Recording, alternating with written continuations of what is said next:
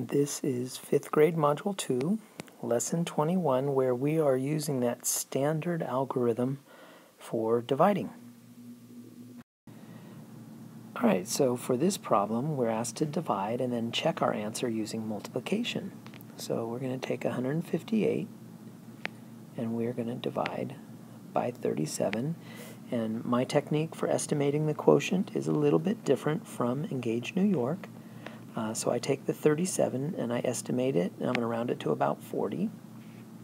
And then I do my skip counting 40, 80, 120, 160. And uh, so at that point, it looks like our quotient is going to be 3 because if I go farther than that, I'm going to go past 158. So I'm going to put 3 as my quotient.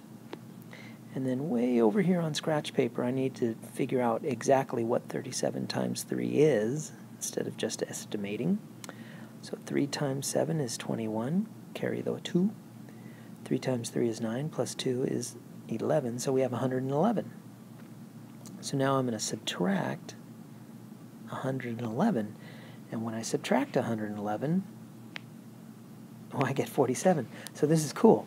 So what this means is I actually could have used a quotient of 4 instead of a quotient of 3. So I don't have to start all over. What I can do is I can just cross off the 3, bump it up to a 4, and just subtract an additional 37. And when I do that, I get 10. So our answer is 4 remainder 10. And to be sure that that's correct, we're going to multiply 37 times 4. And I don't know what that is, so over here on scratch paper, let's do 37 times 4. 4 times 7 is 28, carry the 2. 4 times 3 is 12, plus 2 more is 14, so that's 148. So this is 148, and then I do 148, and I add in the 10 as our remainder, and we get 158. So since I got 158, and that's what the dividend is, that suggests that, hey, my answer of 4 remainder 10 is correct. All right, let's practice our division with a word problem. So it says it takes Jawan exactly 35 minutes to go to by car to get to his grandmother's. The nearest parking area is a four minute walk from her apartment, and one week he visited more often. He realized that he spent five hours and 12 minutes traveling to her apartment and then back home. How many round trips did he make to visit his grandmother? So the first thing we have to do is to figure out that, okay, here's his house, here's his grandma's house, G, and to go from here to here, all total, it takes 39 minutes. That's because 35 minutes plus 4 minutes to deal with parking. So it takes 39 minutes to get from his house to grandma's house.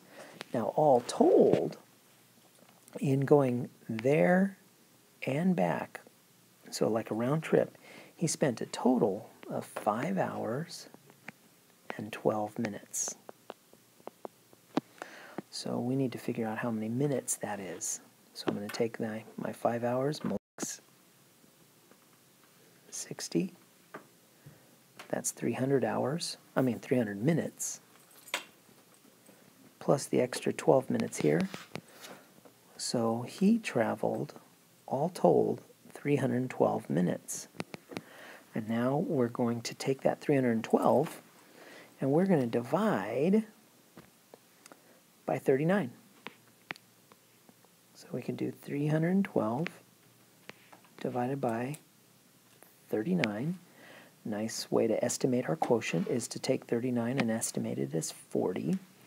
And let's do our skip counting. So we've got 40, 80, 120, 160, 200, 240, 280, 320. Oops, we've passed our goal of 312. So uh, the quotient is going to be 1, 2, 3, 4, 5, 6, 7. So that's our estimated quotient is 7. So let's see if we're right. So over here on scratch paper, 39 times 7. 7 times 9 is 63, carry the 6. 7 times 3 is 21, plus 6 is 27, so that's 273. So let's subtract. And we're going to have to do some regrouping. So that makes that a 12. 12 minus 3 is 9. And then uh, 30 minus 27 is 3. And hey, look at that. Because we get an answer that is equal to 39, that really means instead of a quotient of 7, we really could have done a quotient of 8, subtract out an additional 39, so we have a remainder of 0. So the answer is 8. But that's not really the, eight, the answer. The answer, 8, means he went from here to here, that counts as 1. Here to here, that counts as 2. Here to here is 3.